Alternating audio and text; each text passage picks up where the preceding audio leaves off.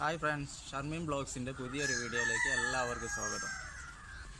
ചിലവ് കുറഞ്ഞ രീതിയിൽ ഫുഡ് വേസ്റ്റിൽ നിന്നും പുഴുക്കളെ എങ്ങനെ ഉൽപ്പാദിപ്പിക്കാം എന്നുള്ള വീഡിയോ ആയിട്ടാണ് ഇന്ന് വന്നിട്ടുള്ളത്. അപ്പോൾ നിങ്ങൾ ആദ്യമായിട്ടാണ് എന്റെ ചാനൽ കാണുന്നത് ഒന്ന് സബ്സ്ക്രൈബ് ചെയ്യുക അതുപോലെ ബെല്ലൈക്കൺ ഓൺ ചെയ്ത് വെക്കുക.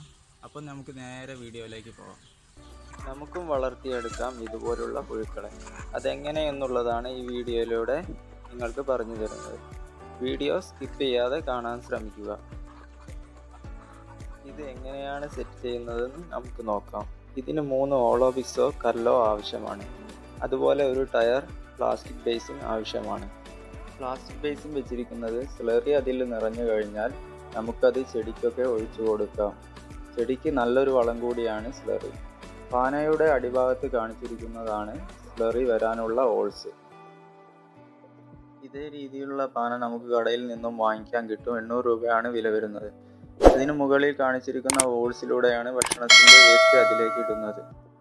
അതിനുശേഷം അതൊന്ന് അടച്ചു വെക്കുക. ഏഴ് ദിവസത്തിന് ശേഷം തുറന്നു കഴിഞ്ഞാൽ അതിൽ നിന്നും നല്ല രീതിയിലുള്ള പുഴുക്കളെ നമുക്ക് ലഭിക്കുന്നതാണ്. മൂന്ന് ദിവസം കഴിയുമ്പോൾ ചെറിയ പുഴുക്കളെയാണ് കിട്ടുക. ആയിട്ട് ദിവസം കഴിയുമ്പോൾ അത്യാവശ്യം വലിപ്പമുള്ള പുഴുക്കളെ നമുക്ക് ലഭിക്കുന്നതാണ്. വീഡിയോയിൽ കാണിച്ചിരിക്കുന്നത് പോലെ അരിപ്പ പോലുള്ള കോരി ഉപയോഗിച്ച് കോരി എടുത്ത് ഒരു പ്ലാസ്റ്റിക് ബേസിനിലേക്ക് ഇടുക. അതിനുശേഷം കുറച്ച് വെള്ളം ഉപയോഗിച്ച് കഴുകി കോഴികൾക്ക് തിന്നാനിട്ട് കൊടുക്കുക. കോഴികൾക്ക് ഹെൽത്തി ആയിട്ടുള്ള ഒരു ഫുഡ് കൂടിയാണ് ഇത്. കോഴികൾക്ക് വളരെ ഇഷ്ടമുള്ള ഒരു ഫുഡ് കൂടിയാണ് കോഴികൾ നന്നായിട്ട് കഴിച്ചുകൊള്ളും കൂടാതെ നമ്മളെ ചാനൽ സബ്സ്ക്രൈബ് ചെയ്യാത്തവരുണ്ടെങ്കിൽ ഒന്ന് സബ്സ്ക്രൈബ് ചെയ്യുക. ബെല്ലൈക്കൺ എനേബിൾ ചെയ്ത് വെക്കുക. ഞാൻ അപ്ലോഡ് ചെയ്യുന്ന വീഡിയോസ് നിങ്ങൾക്ക് അപ്പോൾ നോട്ടിഫിക്കേഷനായി ലഭിക്കുന്നതാണ്. അപ്പോൾ പുതിയൊരു വീഡിയോയുമായി വീണ്ടും കാണാം.